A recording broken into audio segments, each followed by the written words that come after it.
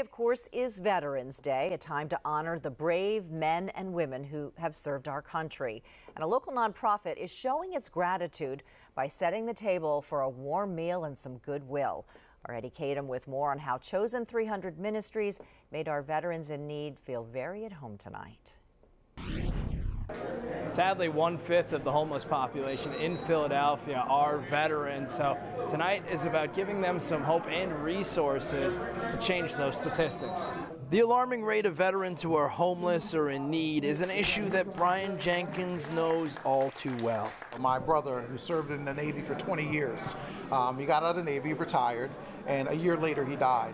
And the reason for his death is because he just could not access health services. That loss drove Jenkins to make sure others know they're appreciated and supported with his organization, Chosen 300 Ministries. We not only provide meals, but we do job training, computer labs. We have expungement services. So if a person has a record, we can get their record clean so they become employable. Uh, we have health clinics, we have barbershops. We do a lot of things to help people not only get food, but also move towards self-sufficiency. Chosen 300 Ministries has been giving back for over 20 years.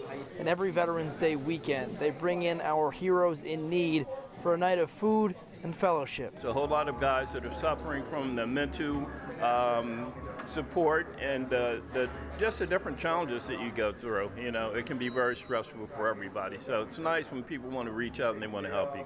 A dinner and a helping hand for our hometown heroes who so often are forgotten.